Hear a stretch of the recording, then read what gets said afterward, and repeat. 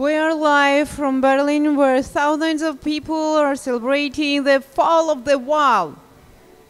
There are shouts, chants, and hugs on the capital streets. Many people have climbed the wall and crossed to the other side after East Germany announced the opening of the borders.